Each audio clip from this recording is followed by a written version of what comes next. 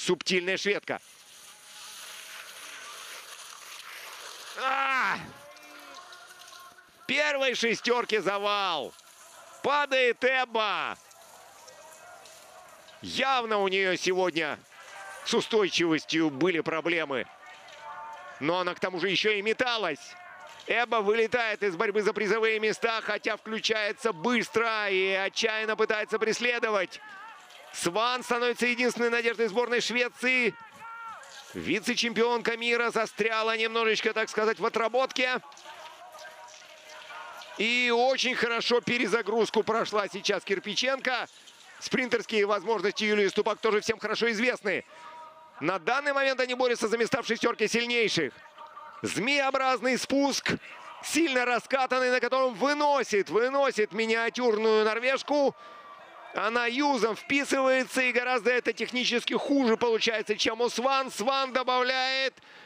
Но вы видите, что на скольжении у нее лыжи все-таки чуть хуже. Однако она успела расслабить руки и плечи. И здесь снова включается ее спринтерская характеристика. На фоне, увы, простаивающих на высшем уровне трамплинов. Она остается первой, держит внутренний радиус. Внутренний радиус пологий, проскочить в игольное ушко здесь сложно. Норвежка даже и не пытается, понимая прекрасно, что может быть завал. Две россиянки тоже вернулись и начинают бороться с немкой за третье место. Только за третье, до первого не добраться. Есть отдельные ошибки на выходе из этого виража. Сван, королева спринта прошлого года впереди. И Сван выигрывает эту гонку уверенно. А поединок спринтерский с Терезой Йохаук приводит к тому, что она даже, возможно, за пределами пьедестала почета. Юлия Ступак, сумев возродиться в этой гонке, как Феникс, почти уже отставая, снова вернулась и еще и сумела выиграть второе место. Я назову это именно так. Тем более, что это было в поединке с Йохаук.